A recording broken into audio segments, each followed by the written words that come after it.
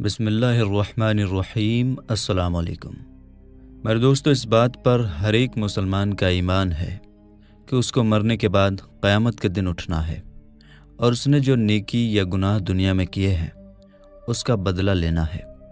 लेकिन आज की इस वीडियो में हम आपको बताएँगे कि मरने के बाद बच्चों का हिसाब किताब कैसे होगा और क्या बच्चों से कब्र के अंदर सवाल जवाब किए जाएँगे या नहीं, और क्या मरने के बाद बच्चों को भी उनकी कब्रों में अजाब होगा या नहीं? और इसके साथ साथ आपको ये भी बताएँगे कि जब काफिर मुशरक के बच्चे मर जाते हैं तो मरने के बाद उन काफिर मशरक के बच्चों के साथ क्या सलूक किया जाता है? और क्या काफिर मुशरक के बच्चे भी मरने के बाद जन्नत में जाएँगे? और अगर कोई मासूम बच्चा कुफर कर दे, यानी अगर किसी मासूम बच्चे ने अल्लाह को मानने से इनकार कर दिया या नमाज़ को मानने से इनकार कर दिया या फिर रोज़े को मानने से इनकार कर दिया, या फिर उन बातों से इनकार कर दिया जिन बातों से इंसान का ईमान चला जाता है तो इसका मतलब उस मासूम बच्चे ने कुफ्र किया। और अगर उसने कुफ्र किया तो किस उम्र में उस बच्चे के कुफ्र को माना जाएगा? मेरे दोस्तों, इन सारे सवालों का जवाब कुरान और हदीस की रोशनी में आज की इस वीडियो में हम आपको बताएँगे। इसलिए आपसे गुजारिश करते हैं कि इस वीडियो को आखिर तक पूरा ज़रूर देखिएगा। दोस्तों अल्लाह ताला कुरान पाक में इरशाद फरमाता है, और उस दिन से डरो जब कोई किसी के कुछ काम ना आएगा, और ना ही किसी की सिफारिश मंजूर की जाएगी। यानी मिसाल के तौर पर अगर बेटा गुनहगार है, और आप चाहें कि अपने बेटे को अल्लाह ताला से बख्शवा लें, उसकी सिफारिश करके, उसकी गवाही दे के तो ऐसा भी नहीं माना जाएगा। मतलब कोई भी किसी की सिफारिश करके उसको बचा नहीं सकता, और ना ही किसी से किसी तरह का बदला कबूल किया जाएगा। यानी अगर कोई चाहे कि मेरे पास दस नेकी कम है और मैं किसी से दस नेकी लेके उसको पूरा कर लूँ या किसी को दस नेकी दे दूँ तो ये भी कबूल नहीं किया जाएगा और ना ही लोग किसी की मदद हासिल कर सकेंगे। यानी अगर कोई चाहे कि मैं उसकी मदद कर दूँ या उससे मदद ले लूँ तो कोई ऐसा भी नहीं कर पाएगा। और मेरे दोस्तों, क़यामत का दिन एक ऐसा ख़तरनाक दिन होगा जिस दिन प्रेग्नेंट औरतों के हमल गिरा दिए जाएँगे और उस दिन नफ्स नफसी का ये आलम होगा, यानी उस दिन लोगों को सिर्फ़ अपनी ही टेंशन लगी होगी। जैसे माँ अपने बेटे को भूल जाएगी और औलाद अपने माँ बाप को भूल जाएगी। और उस दिन कोई किसी के कुछ काम ना आएगा। हर एक को सिर्फ़ अपने ही हिसाब किताब की टेंशन लगी होगी और हर एक इंसान अपने अमाल के मुताबिक अपने अंजाम को पहुँचा दिया जाएगा। यानी जिसने दुनिया में जैसा काम किया, उसके उसी काम के हिसाब से उसको उसकी जगह तक पहुँचा दिया जाएगा। जैसे अगर किसी ने गुनाह किया तो उसको जहन्नुम में पहुँचा दिया जाएगा। या अगर किसी ने नेकी की तो उसको जन्नत में पहुँचा दिया जाएगा। मेरे दोस्तों, इस बात पर हर मुसलमान का ईमान है कि उसको मरने के बाद क़यामत के दिन उठना है। और उसने जो नेकी या गुनाह दुनिया में किए हैं, उसी का बदला लेना है। मेरे दोस्तों, इस दुनिया को छोड़ने के बाद इंसान को सबसे पहले जिस घर में दाखिल किया जाता है वो कब्र है। कब्र आखिरत के घरों में से सबसे पहला घर है और कब्र से ही हर इंसान का हिसाब किताब शुरू हो जाता है। और जो कब्र के इम्तिहान में पास हो जाता है तो उसके आगे के रास्ते साफ़ हो जाते हैं। और जो कब्र के इम्तिहान में पास नहीं हो पाता तो उसके आगे के रास्ते बहुत मुश्किल हो जाते हैं और वो उनको पार नहीं कर पाता। मेरे दोस्तों, जब भी कोई इंसान मरता है तो उसको कब्र के अंदर दफना दिया जाता है।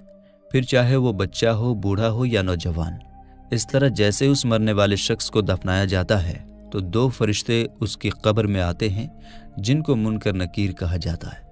ये फरिश्ते उस मरने वाले शख्स से सवाल करते हैं और वो मरने वाला शख्स इन फरिश्तों के सवाल का जवाब देता है। अगर मरने वाला शख्स इन फरिश्तों के सवालों का जवाब ठीक दे देता है तो उसको जन्नत की खुशखबरी दे दी जाती है। और अगर मरने वाला शख्स इन फरिश्तों के सवालों का जवाब नहीं दे पाता तो उसकी कब्र को जहन्नुम का गड्ढा बना दिया जाता है। जैसा कि हुजूर पाक सल्लल्लाहु अलैहि वसल्लम ने इरशाद फरमाया कि कब्र या तो जन्नत के बागों में से एक बाग है या जहन्नम के गड्ढों में से एक गड्ढा। और कब्र आखरत की मंजिलों में से सबसे पहली मंजिल है। जिसने इसको आसानी से पार कर लिया तो आगे की मंजिल इसके लिए आसान है। और जो इस मंजिल को पार ना कर सका तो आगे की मंजिल बहुत ज़्यादा मुश्किल है। मेरे दोस्तों, अब बात करते हैं कि अगर कोई नाबालिग बच्चा बालिग होने से पहले मर जाए तो क्या उससे भी कब्र में हिसाब किताब लिया जाता है? और उससे भी सवाल जवाब किए जाते हैं। तो इसके बारे में अलग अलग बातें मिलती हैं। कुछ बातों के हिसाब से छोटे बच्चों से कब्र के अंदर सवाल जवाब किए जाएँगे। क्योंकि अल्लाह ताला कब्र के अंदर इन मरने वाले बच्चों की अकल को बढ़ाकर बराबर कर देगा और फिर ये मरने वाले बच्चे अपनी अकल के बढ़ जाने पर इन फरिश्तों के उन सवालों के जवाब देंगे।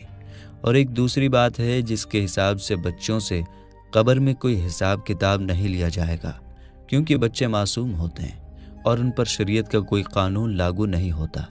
इसी वजह से बच्चों से कब्र में कोई सवाल जवाब नहीं किया जाएगा। मेरे दोस्तों, अब बात करते हैं उन बच्चों की जो काफिरों के घर में पैदा हुए या मुशरिकों के घर में पैदा हुए और बालिग होने से पहले मर गए। तो क्या ऐसे बच्चे मुशरिक और काफिर कहलाएँगे और कब्र के अंदर उनके साथ क्या सलूक किया जाएगा?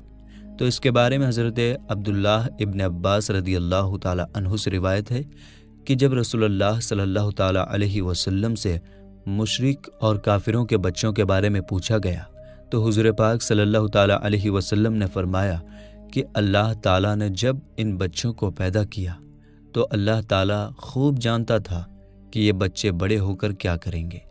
इसी तरह एक हदीस में आता है कि आप सल्लल्लाहु अलैहि वसल्लम ने एक ख्वाब देखा कि आप सल्लल्लाहु अलैहि वसल्लम एक बाग में हैं और एक बहुत लंबा आदमी उस बाग में चल रहा है और उसके आसपास बहुत सारे बच्चे खेल रहे हैं। और उस आदमी की लंबाई इतनी है कि हुजूर पाक सल्लल्लाहु अलैहि वसल्लम उस आदमी को देखने के लिए अपनी गर्दन पाक को ऊपर उठाते हैं, क्योंकि वो शख्स इतना लंबा था कि जैसे वो आसमानों से बातें कर रहा हो। तो हजूर पाक सल्लल्लाहु अलैहि वसल्लम ने हज़रत जबरील अलैहिस्सलाम से शख्स के बारे में पूछा और इन बच्चों के बारे में भी पूछा। तो हज़रत जबरील अलैहिस्सलाम ने अर्ज़ किया, या रसूलुल्लाह सल्लल्लाहु अलैहि वसल्लम आपने जिस शख्स को देखा है, वो हज़रत इब्राहिम अलैहिस्सलाम हैं। और उनके अगल बगल में जो बच्चे खेल रहे थे, वो वो बच्चे हैं जो फितरत सलीम पर पैदा हुए और बालिग होने से पहले पहले फितरत सलीम पर ही मर गए। यानी वो बच्चे इस्लाम पर ही पैदा हुए और बालिग होने से पहले पहले इस्लाम पर ही मर गए।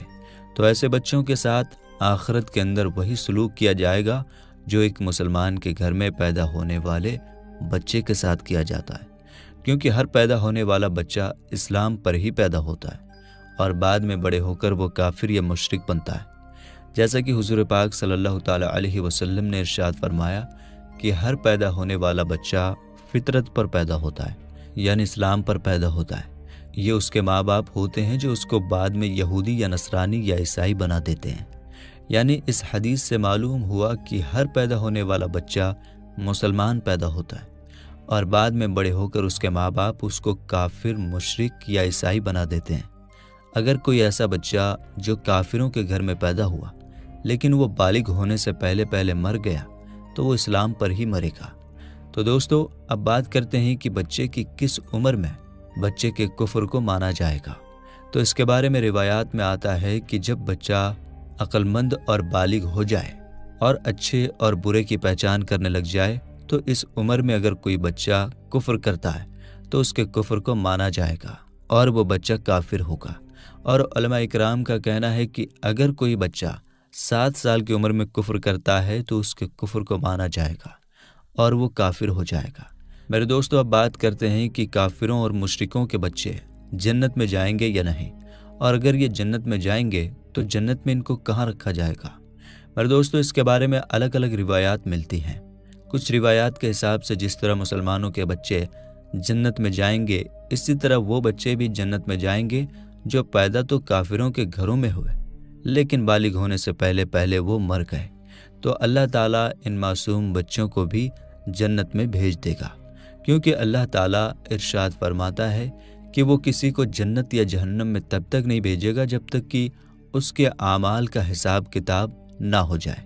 और मासूम बच्चों पर क्योंकि शरीयत का कानून लागू नहीं होता, इसी वजह से अल्लाह ताला मासूम बच्चों को बग़ैर हिसाब किताब के जन्नत में दाखिल फरमाएगा।